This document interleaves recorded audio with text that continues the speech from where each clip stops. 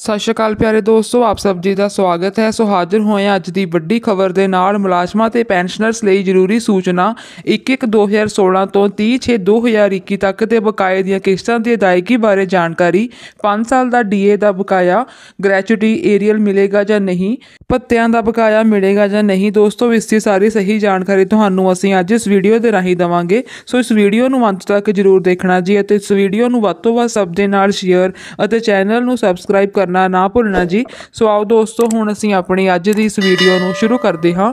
ਸੋ ਦੋਸਤੋ, ਕਾਫੀ ਦੋਸਤਾਂ ਦੇ ਵੱਲੋਂ ਵੀ ਸਵਾਲ ਪੁੱਛੇ ਜਾ ਰਹੇ ਸਨ ਕਿ ਉਹਨਾਂ ਨੂੰ ਜੋ ਡੀਏ ਦਾ ਬਕਾਇਆ ਹੈ ਕਦੋਂ ਮਿਲੇਗਾ। ਸੋ ਦੋਸਤੋ, ਆਪ ਜੀ ਨੂੰ ਦੱਸ ਦਈਏ ਕਿ ਆਪ ਜੀ ਨੂੰ 1/1/2016 ਤੋਂ 30/6/2021 ਤੱਕ ਦਾ ਜੋ ਸਾਰਾ ਬਕਾਇਆ ਹੈ, ਉਹ ਤੁਹਾਨੂੰ ਦਿੱਤਾ ਜਾਵੇਗਾ। ਦੋਸਤੋ, ਆਪ ਜੀ ਨੂੰ ਇਹ ਵੀ ਦੱਸਦੇ ਹਾਂ ਕਿ 30/6/2021 ਤੋਂ ਲੈ ਕੇ ਦਸੰਬਰ 2021 ਤੱਕ ਦਾ ਜੋ ਡੀਏ ਦੀ ਬਕਾਏ ਦੀ ਕਿਸ਼ਤ ਹੈ, ਉਹ ਸਰਕਾਰ ਵੱਲੋਂ ਜਾਰੀ ਕਰ ਦਿੱਤੀ ਗਈ ਹੈ ਅਤੇ ਕਾਫੀ ਸਾਰੇ ਮੁਲਾਜ਼ਮਾਂ ਨੂੰ ਉਹਨਾਂ ਦੇ ਖਾਤੇ ਦੇ ਵਿੱਚ ਡੀਏ ਦੇ ਬਕਾਏ ਦੀ ਕਿਸ਼ਤ ਆ ਵੀ ਗਈ ਹੈ। ਇਸ ਦੇ ਬਾਰੇ ਵਿੱਚ ਤੁਹਾਨੂੰ ਅਸੀਂ ਇੱਕ ਪਹਿਲੀ ਵੀਡੀਓ ਵਿੱਚ ਦੱਸਿਆ ਹੈ। ਸੋ ਦੋਸਤੋ, ਤੁਹਾਨੂੰ ਜੋ ਡੀਏ ਮਿਲਣਾ ਹੈ, ਉਹ ਤੁਹਾਨੂੰ 17% ਦੇ ਨਾਲ ਮਿਲੇਗਾ। ਡੀਏ ਦਾ ਬਕਾਇਆ ਜੋ ਹੈ 17% ਦੇ ਨਾਲ ਬਣਿਆ ਹੈ। ਪਰ ਤੁਹਾਨੂੰ ਜੋ ਮੌਜੂਦਾ ਡੀਏ ਹੈ 28% ਮਿਲ ਰਿਹਾ ਹੈ।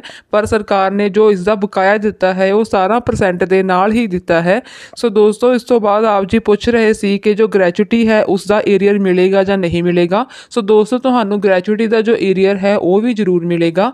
ਦੋਸਤੋ, ਆਪ ਜੀ ਨੂੰ ਦੱਸ ਦਈਏ ਕਿ ਜੋ ਭੱਤੇ ਵੱਧ ਕੇ ਆਏ ਹਨ, ਜੋ ਸਾਨੂੰ ਭੱਤੇ ਹਨ, ਜਿਵੇਂ ਕਿ ਮੈਡੀਕਲ ਭੱਤਾ ਮੋਬਾਈਲ ਅਲਾਉਂਸ ਜੋ ਹੈ, ਇਹ ਸਭ ਦਾ ਬਕਾਇਆ ਤੁਹਾਨੂੰ ਨਹੀਂ ਦਿੱਤਾ ਜਾਵੇਗਾ। ਸਿਰਫ ਤੁਹਾਨੂੰ ਡੀਏ ਦਾ ਬਕਾਇਆ ਮਿਲਣਾ ਹੈ ਤੇ ਵਧੀ ਹੀ ਤਨਖਾਹ ਦਾ ਬਕਾਇਆ ਮਿਲਣਾ ਹੈ। ਹੋਰ ਤੁਹਾਨੂੰ ਬਾਕੀ ਜੋ ਹੈ, ਕੋਈ ਬਕਾਇਆ ਨਹੀਂ ਮਿਲੇਗਾ। ਦੋਸਤੋ, ਤੁਹਾਡੇ ਜੋ ਡੀਏ ਦਾ ਬਕਾਇਆ ਹੈ ਉਸ ਦੀ ਜੋ ਅਦਾਇਗੀ ਹੈ ਉਸ ਦੀ ਪਹਿਲੀ ਕਿਸ਼ਤ ਹੈ, ਉਹ ਜਾਰੀ ਹੋ ਗਈ ਹੈ।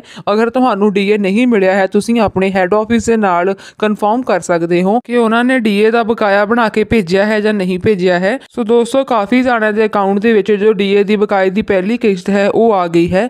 ਸੋ ਦੋਸਤੋ, ਮੈਨੂੰ ਉਮੀਦ ਹੈ ਕਿ ਆਪ ਨੂੰ ਜਾਣਕਾਰੀ ਜ਼ਰੂਰ ਚੰਗੀ ਲੱਗੀ ਹੋਵੇਗੀ ਹੋਰ ਅਪਡੇਟਸ ਲੈਣ ਦੇ ਲਈ ਚੈਨਲ ਨੂੰ ਲਾਈਕ ਸ਼ੇਅਰ ਐਂਡ ਸਬਸਕ੍ਰਾਈਬ ਕਰਨਾ ਨਾ ਭੁੱਲਣਾ ਜੀ ਅਤੇ ਇਸ ਵੀਡੀਓ ਨੂੰ ਵੱਧ ਤੋਂ ਵੱਧ ਸਭ ਦੇ ਨਾਲ ਸ਼ੇਅਰ ਵੀ ਜ਼ਰੂਰ ਕਰ ਦੇਣਾ। ਸੋ ਦੋਸਤੋ, ਮਿਲਦੇ ਹਾਂ ਆਪਣੀ ਅਗਲੀ ਅਪਡੇਟ ਦੇ ਨਾਲ। ਜਦ ਤੱਕ ਲਈ ਧੰਨਵਾਦ।